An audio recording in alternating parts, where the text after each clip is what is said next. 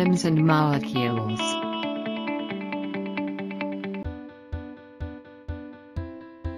What is the difference between atoms and molecules?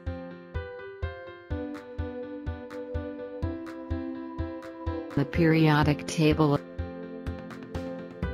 Molecules are made up of atoms.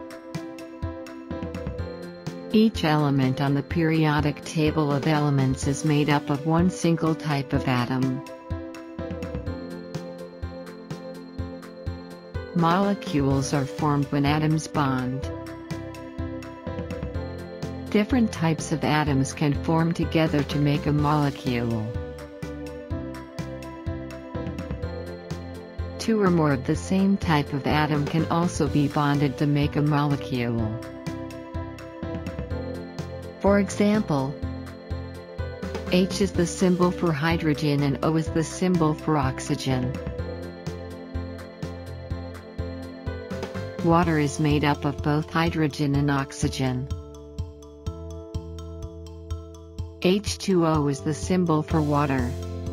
Two hydrogen atoms and one oxygen atom are bonded together to create a water molecule.